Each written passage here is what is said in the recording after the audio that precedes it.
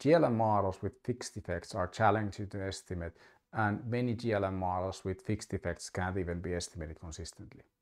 Conditional logistic regression model is one workaround to the problem that fixed effects in a logistic regression simply can't be estimated.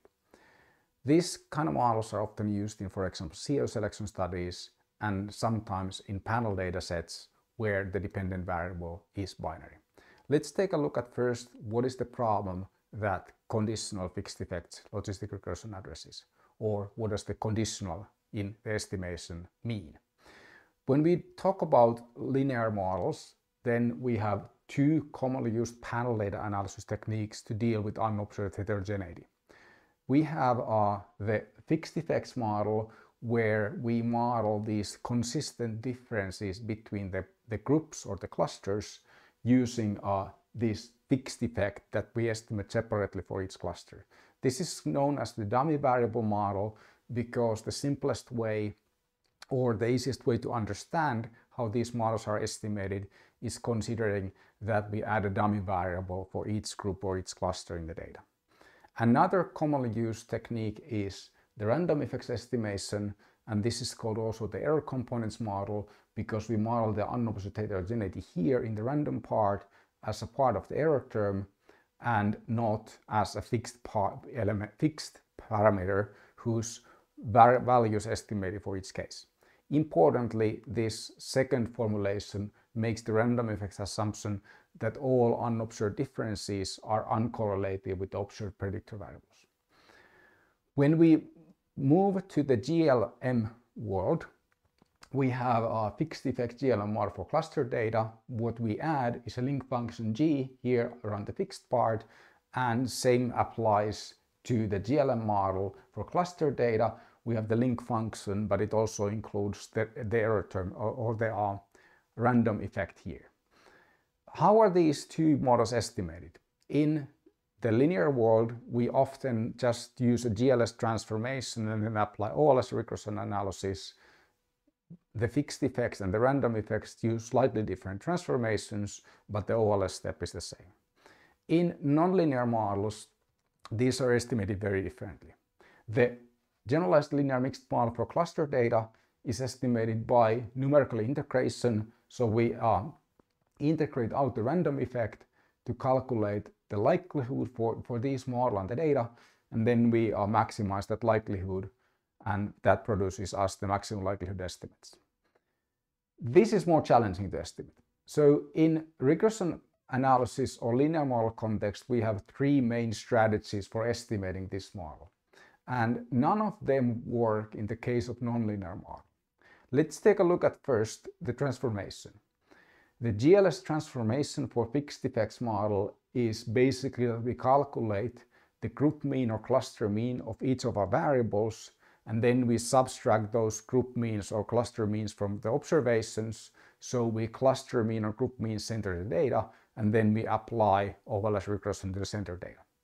Centering eliminates the unobserved effect AJ.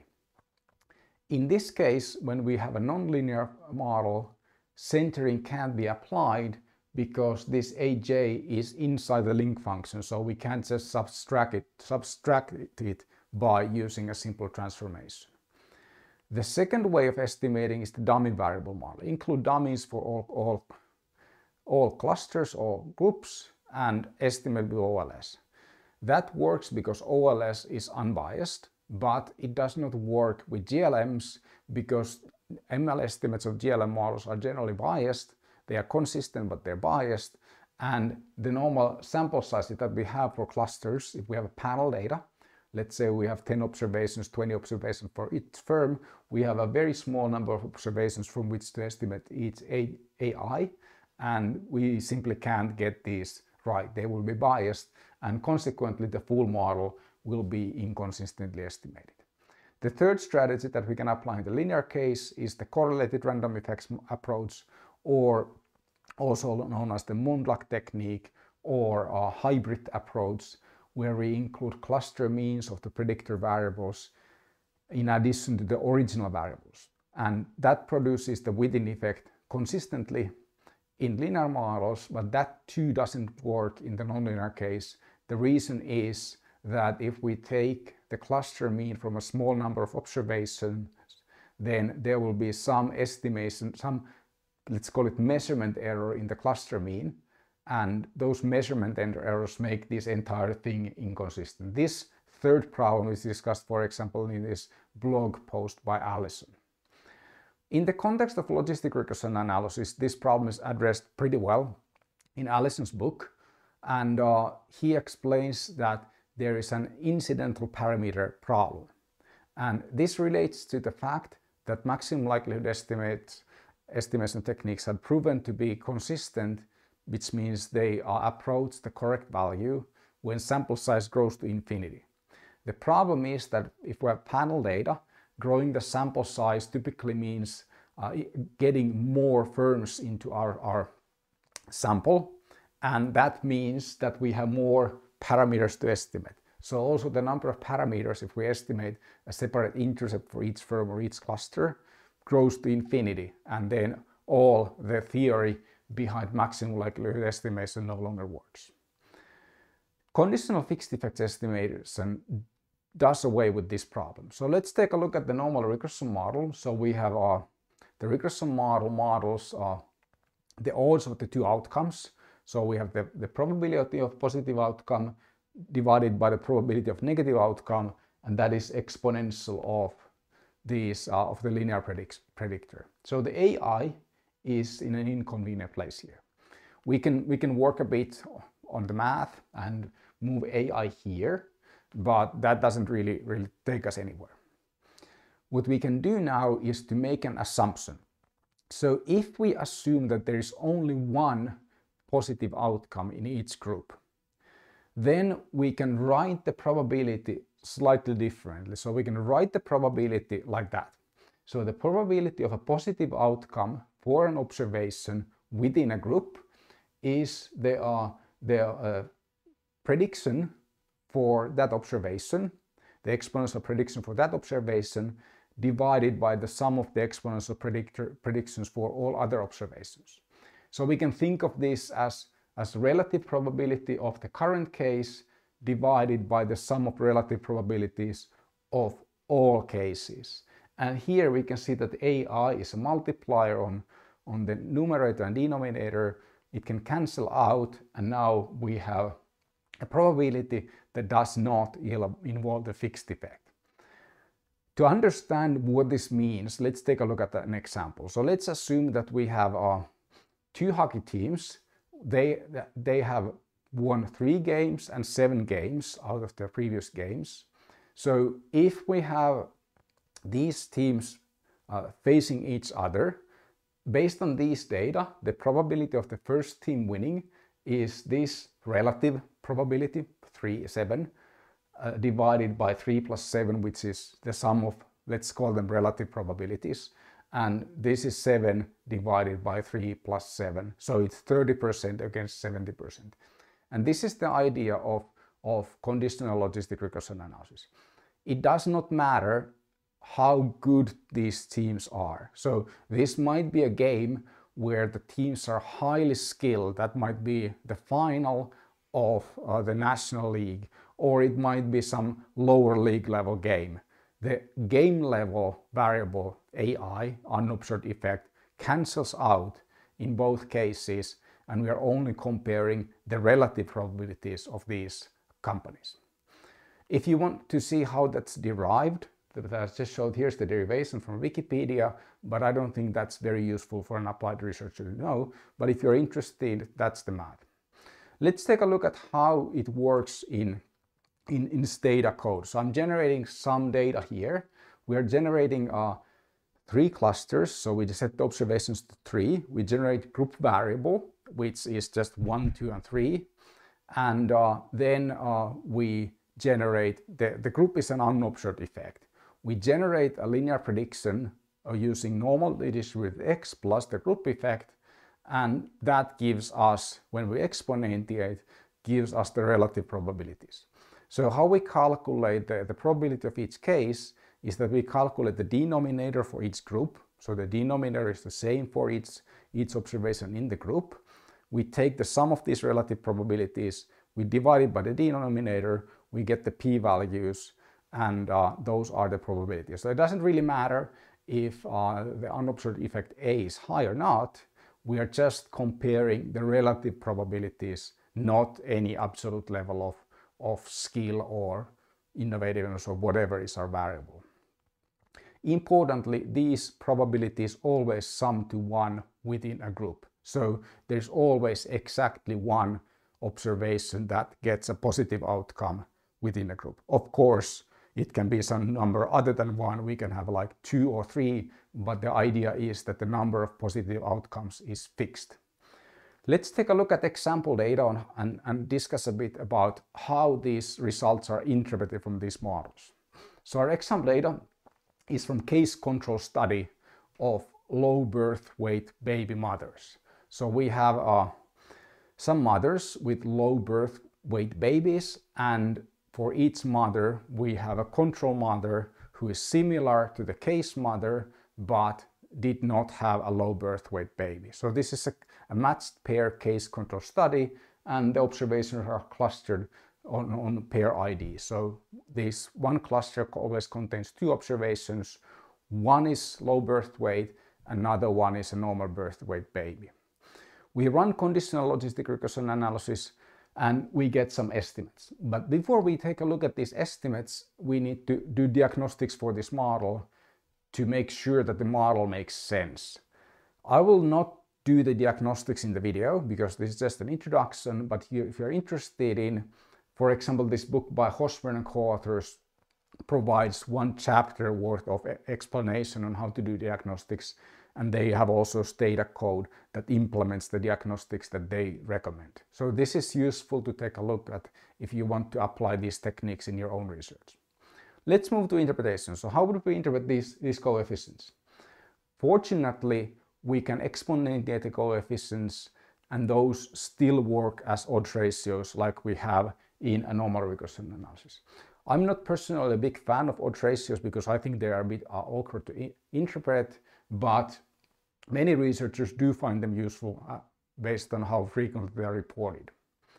Another way of, of looking at the coefficients is to uh, convert them into elasticities and this is explained uh, Kemp and Da Silva and uh, they also provide a Stata program for, for doing this conversion.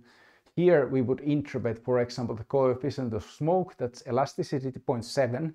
The interpretation is that uh, when two mothers are com otherwise comparable, the smoker has a 70% higher chance of getting a low birth weight baby than the non-smoker mother. Importantly, this is a, a relative effect, so it's not 7%, 70 percentage points, but it's like if the non-smoker had a 10% chance of getting a low birth weight baby, then uh, the smoker has 17% chance. So it's a relative effect instead of absolute percentage points effect. So this is a useful way, way to interpret this. Then we can also apply uh, pseudo R-squares, particularly the Tjur pseudo R-square, which is my favorite, is directly applicable. How we calculate the Tjur R-square is that we simply calculate predictions. So we calculate the predicted probabilities and these are always calculated assuming that there is one positive case and one negative case, so the probability is always sum to 1. And then we compare the predicted probabilities for the cases and predicted probabilities for the controls. We can see that for the controls, we have 30% predicted probability. For the cases, we get 70% predicted probability. So this model is pretty good at discriminating the cases from the controls. And uh, the Tjur R square for this model would be then 0.4. Another thing that I often like to do after logistic regression analysis is to calculate adjusted predictions. So then in normal regression analysis context, the adjusted predictions are calculated by first setting everyone to, to 80 pounds of, of weight, then 100 pounds, 120, 140, 160, 180, 200 and 220, 240. So we calculate these uh, and these effects or predictions assuming everyone is 80 pounds, everyone is 120, everyone is, is 200 pounds and so on. And then we plot the, uh, the adjusted predictions. This does not work in conditional logic. The reason is that if we adjust everybody, then uh, the results for the predictions are, are pretty unpredictable because we are comparing relative probabilities. If we adjust the, the weight of everybody, then the, the, uh, the predicted probability on average will stay the same because they will always, the prob probabilities will always sum to one within clusters in this case. So margins generally is not very useful and the Stata documentation of margin simply says that these, these effects are not allowed and the reason is that uh, the effects, they are, the marginal effects depend on other observations in the cluster.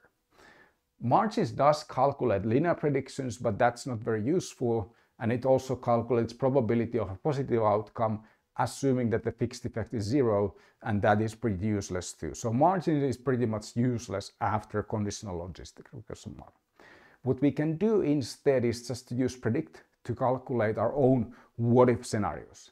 And I'm comparing the, the base scenario against two what if scenarios.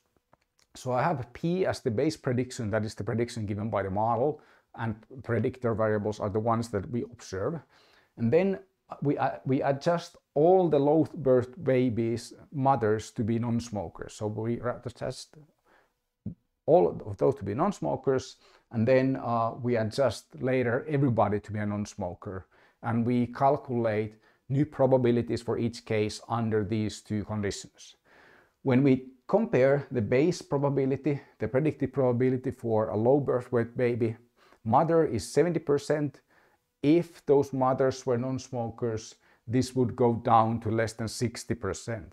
So it's a pretty substantial difference, more than 10 percentage points.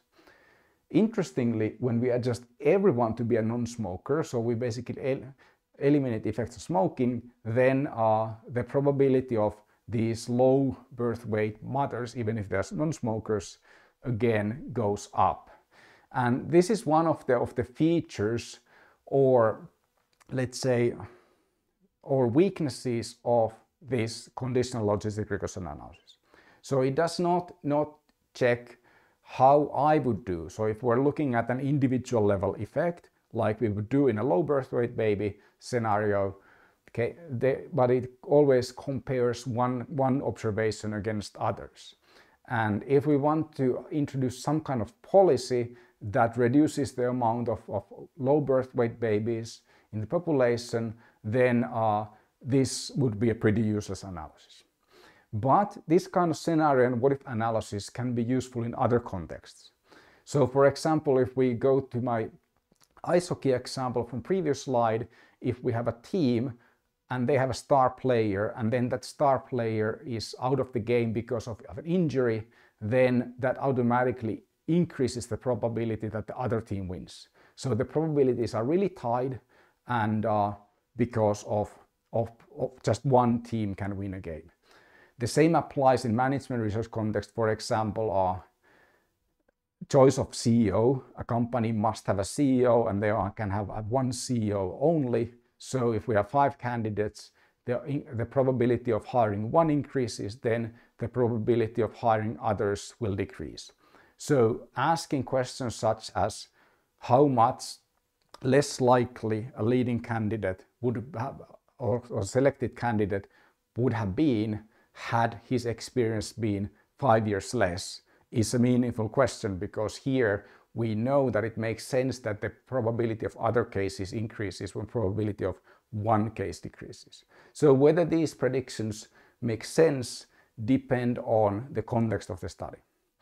The conditional estimation can be applied to other GLMs. For example, Allison talks about how this applies to Poisson regression model. Here the conditional assumption is that the count of the dependent variable, the counts, the sum of the counts is constant within group. Now, this conditional fixed effects is a bit complicated to interpret and we might ask, do, I, do we really need this estimation technique?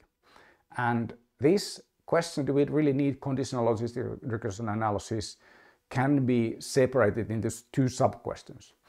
The first question is, is are fixed effects required?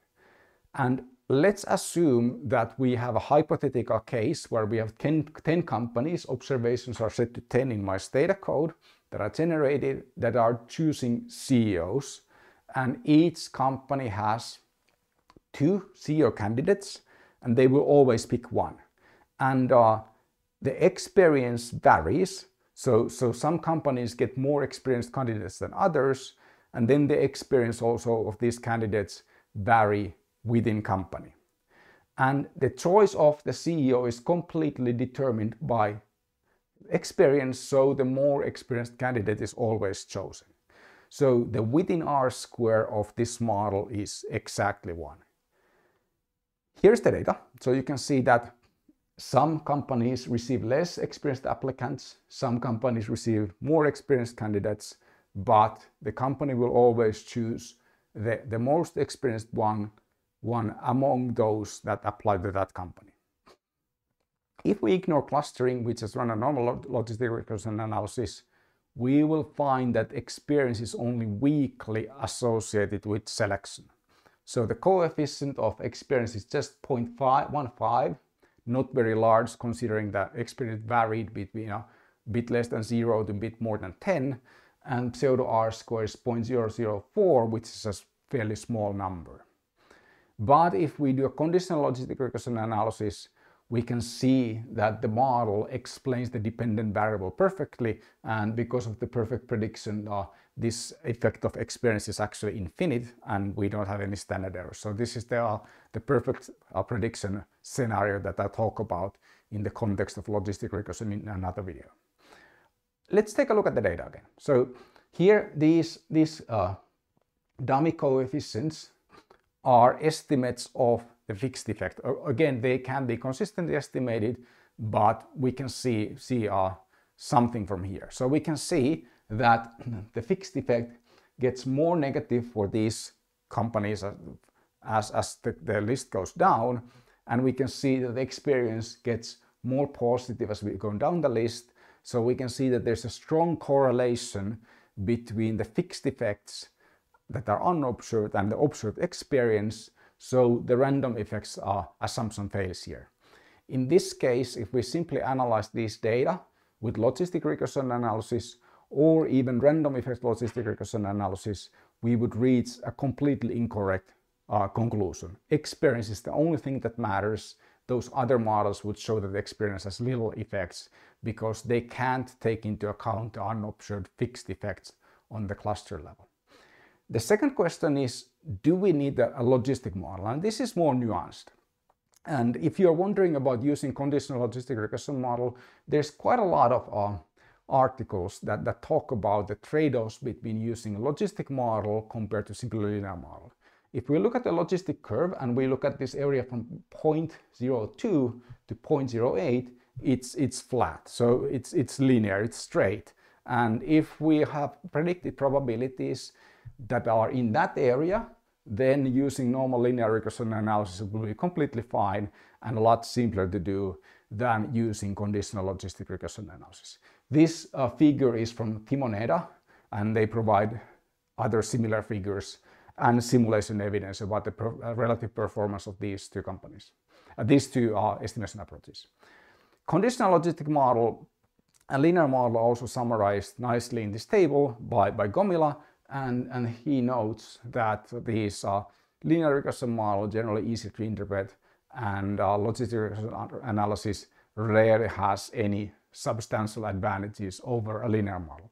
Of course, there are scenarios where the, the non-linearity of the logistic regression analysis is an advantage, but in many cases, the linear model should be at least considered because of its simplicity.